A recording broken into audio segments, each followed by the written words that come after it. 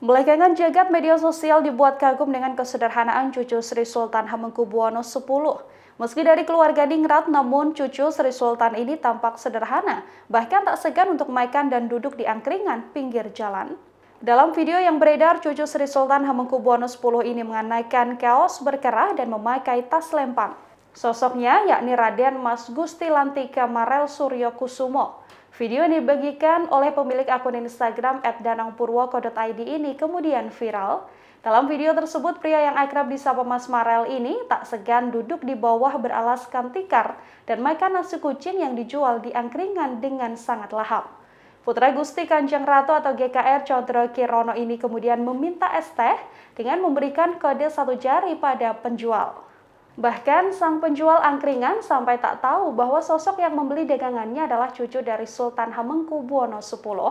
Sang pemilik akun yakni Danang mengatakan kala itu GKR Hemas istri Raja Yogyakarta hendak melakukan kunjungan ke lokasi penambang pasir di Serandakan, Bantul, tepatnya di kawasan Kaliprogo. Saat itulah Mas Marel yang mendampingi hanya ingin memesan es teh, namun ternyata belum sarapan. Ia pun akhirnya memesan nasi kucing sebelum pergi bersama dengan sang nenek. Diakui oleh Danang kala itu Mas Marel memesan satu porsi makanan yakni satu bungkus nasi kucing ukuran besar dan juga satu gelas es teh.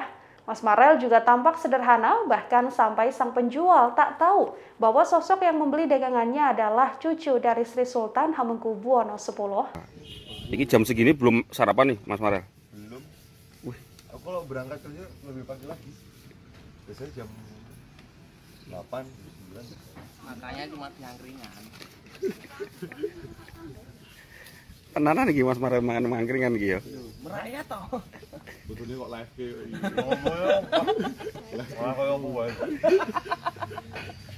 bu asnya sungguh nih es teh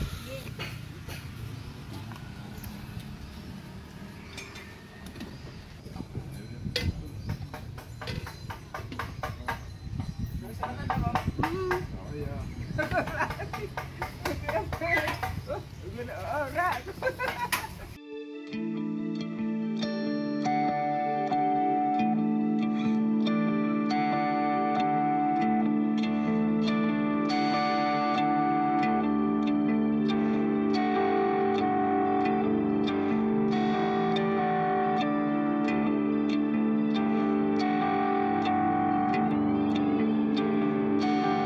Demikian informasi kali ini, nantikan informasi terbaru lainnya hanya di Tribunnews.